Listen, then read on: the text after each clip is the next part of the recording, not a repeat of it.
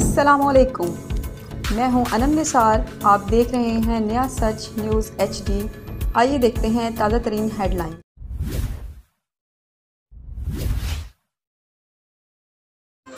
Al-Mustafa welfare trust के जेर इंतज़ाम दो रोज़ा मेडिकल कैंप का अफ्ताह किया गया, जिसका अफ्ताह M N A Syed Sajid Mehdi Salim Shah ने और ex M P A Malik Nausher Langrial ने फीता काट कर किया। मज़ीद जानते हैं अपने नुमाइंदे मलक लियाकत लंगड़ियाल से।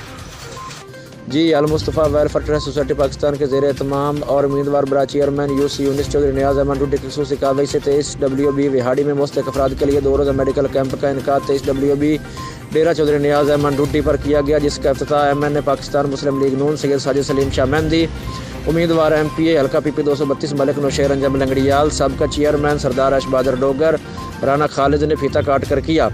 सैयद साजिद सलीम शाह मेहंदी मलिक नशर अंजम लंगड़ियाल ने मीडिया से गुफ्तु करते हुए कहा कि अल मुस्तफ़ा वेलफेयर ट्रस्ट और न्याज अहमद की इस काविश पर उनकी पूरी टीम का शुक्रिया अदा करते हैं और कहा कि महँगाई के इस दौर में ऐसे फलाई कामों में हिस्सा लेना फ़ख्र की बात समझते हैं। न्याज अहमद ने तमाम मेहमानों का शुक्रिया अदा किया और कहा कि अल्लाह पाक ने मुझे हिम्मत और ताकत अता की और दोस्तों की दुआ से ये मेडिकल कैंप रवा दवा है। Project coordinator Al Mustafa welfare trust doctor Raseeb ने बताया कि मेडिकल कैंप में मुस्तक मरीज़ों के लिए फ्री टेस्ट चेकअप, लेंस और अद्वियात फराम की जा रही हैं। अलमुस्तफ़ा वेलफेयर उन्नीस सौ इक्यासी से अपनी खदमात सर अंजाम दे रही है। मेडिकल कैंप में मरीज़ों और उनके साथ आए हुए अफराद के लिए खाने का भी इंतज़ाम किया गया। मरीज़ों ने मीडिया से गुफ्तु करते हुए कहा कि चौधरी नियाज अहमद और अलमुस्तफ़ा वेलफेयर का शुक्रिया अदा करते हैं। जी। हाँ आकर बहुत ही खुशी हो रही है। असल तो काम ये करने वाले हैं, हमारा वाला काम नहीं है। असल काम जिससे अल्लाह ताला खुश होता है, वो यही काम है। और यही आखिरत बनाते हैं। हम तो आखिरत गंवाते हैं और ये आखिरत बनाते हैं। काम तो असल मुसलमानों का यही है, दूसरों की खिदमत करना। तो मैं बड़ा ही, फिर तो अलमुसबा ट्रस्ट वालों का भी उन्होंने कराची से तकलीफ़ की है। आप लोगों के लिए हमारी दरख्वास्त पर वो यहाँ तशीफ लाए हैं और पूरा मैंने देखा जैसे पूरा हॉस्पिटल एक अस्पताल होता है, वैसे इन्होंने अस्पताल यहाँ कायम किया हुआ है।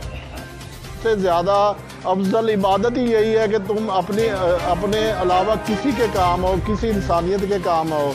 तो मैं ये जो दोस्त हमारे यहाँ कैंप लगा रहे हैं, पहले जो उधर लगता है छः साल से, वो बड़ी मेहनत करते हैं। हम में, हम सिर्फ़ सरपरस्ती करते हैं शाह साहब और हम हम, हमारा कोई कंट्रीब्यूशन नहीं होता, सब कुछ ये करते हैं। अब ये जो कैंप लग रहा है, यही लोग कर रहे हैं। हमारी तरफ़ से ये है कि हम इनको अप्रिशिएट कर रहे हैं और इनके हौसला अफजाई करते हैं और इनके साथ हैं। और चैरिटी के कामों में इन ताला शाह साहब ने पहले भी कहा था उस कैंप में भी, और यहाँ भी इन ताला हमारा पूरा तावन होगा।